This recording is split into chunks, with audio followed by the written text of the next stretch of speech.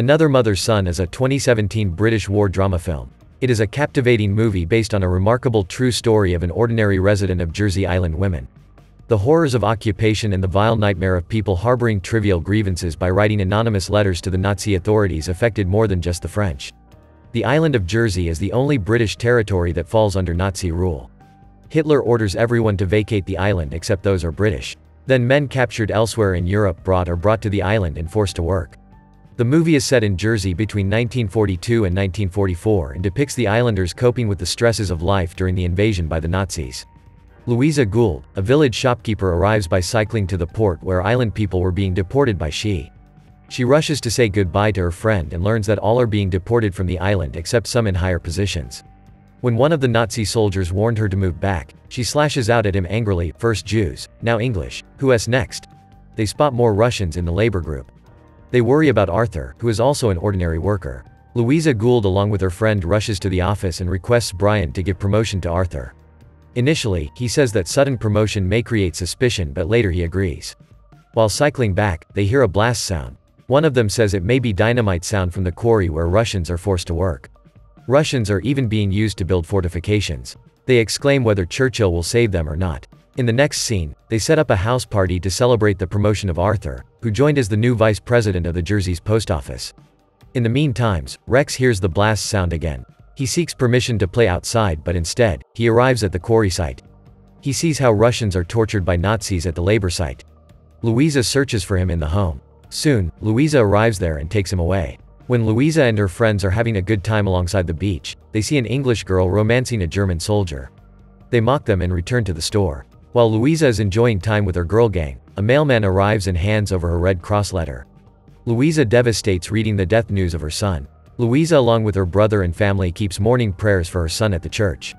The next day, when Louisa is busy in her shop, they witness that Russian laborers are being pulled by German soldiers ruthlessly. She rushes to offer them apples but gets threatened by Nazi soldiers. The store supplier arrives at Louisa's store again, he informs her about the cut of ration.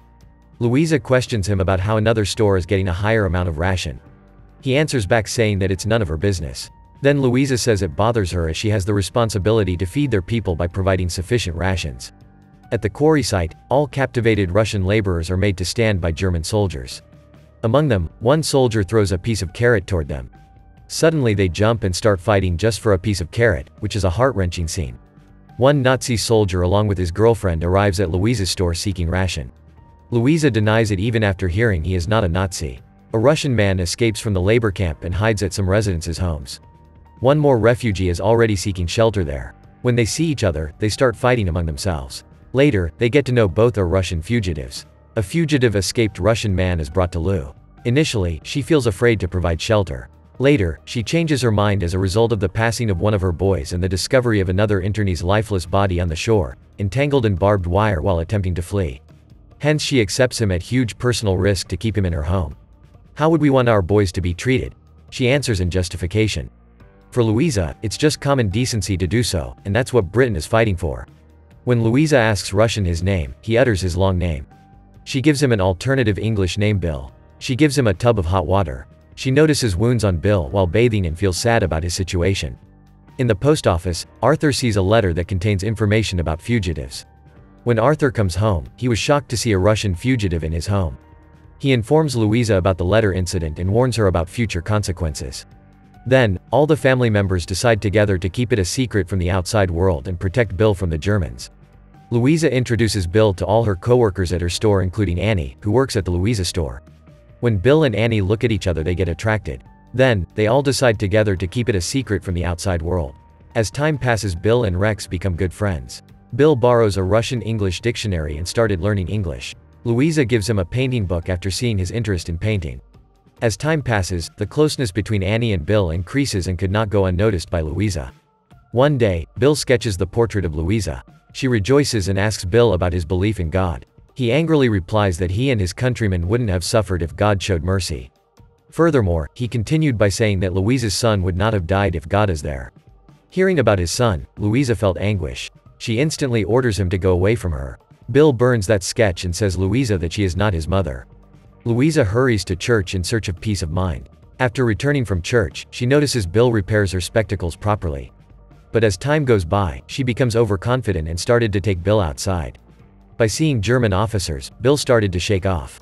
They escape from there. Louisa makes arrangements for a false identity card for Bill. One day while returning from the French store, a German officer follows Bill and Louisa to return the lost purse. Bill started to shake off and peed in his pants itself out of fear. Louisa removes Annie from the work. When Bill asks about it, she gives an excuse saying that Annie has a better paying job. She further tells him that they will go to hire a new worker in their store soon. Louisa is busy collecting the wood from the beach. Bill hands over a letter to Louisa which contains information about her second son Ralph. Hearing about the safe news of her son, both of them jump out for joy. Bill also starts collecting wood to help Louisa. On the eve of Christmas Day, Louisa and her family are celebrating with cake and wine. Louisa offers wine to Rex. Suddenly, I warn telling them that he is just 12 by age. Louisa says that wine is prepared just from apples so it won't harm. She gives them a glass of wine Rex. Everybody cheers for the promotion of Arthur. At the Christmas party, Rex forces Bill to sing a Russian song. When Bill sings a Russian song, Nazi soldiers overhear it and demand an inspection of the house. Then Louise's brother Harold comes forward singing a Russian song and handled the situation.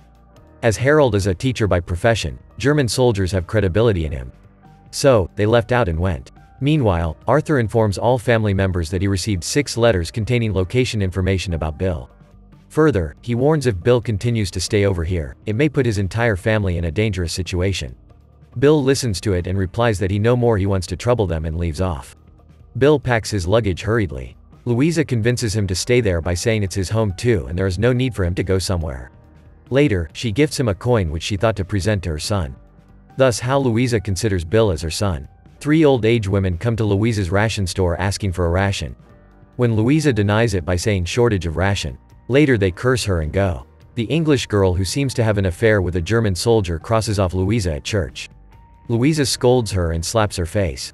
The seventh letter having information about Bill arrives at the post office. Before Arthur tears it, a German officer arrives. Hence, he keeps the letter on the table itself and vanishes. Later, Brian, the manager of that post office posts that letter. Arthur rushes to the home soon and informs that Bill needs to be shifted to some safer place. All family members together erase all the proofs and materials related to Bill meanwhile Louisa makes an alternate arrangement for Bill's staying. A store supplier comes and takes Bill along with him to some safer place. While leaving Bill starts crying and says thanks to Louisa. Later, the police arrive at Louisa's house and start the inspection. They are about to return with empty hands, and a German officer who has an envoy with Louisa hands over a Russian-English dictionary. All family members including Louisa are taken into custody and brought to court. Harold and Nicole get five months and four months of jail sentences respectively. Louise gets two-year imprisonment. Bill breaks down upon hearing the news. In August 1944, a train arrives in North France which contains many captivated women including Louisa. Louisa sees Harold at the railway station and calls him. He informs her that his birthday is today, and in return she wishes him. The train leaves the station. On May 9, 1945, the English gain victory over Jersey Island. Ivy witnesses that English soldiers are putting border fences on the beaches. Arthur arrives and informs Ivy about the information of Harold. Ivy along with her son rushes to the hospital to visit Harold. Harold's health condition will be at a bad stage. When Ivy asks him about Louisa, he couldn't able to tell. When captivated women including Nicole got released, they return back to Jersey. Ivy asks Nicole the whereabouts of Louisa. She also says no and starts crying. Louisa's spectacle will be found one day at the dump site of the concentration camp and later gets to know about her death at the gas chamber. Thus the brave and compassionate lady later life. Ivy becomes the first woman minister in the parliament. Harold provides proof based on which many trials will be taking place. Many culprits get death sentences too. He continues his profession as a teacher. Louise's son Ralph won the war. Thank you so much for watching. If you enjoyed this video please hit the like button and also subscribe my channel for more videos like this. See you in the next video.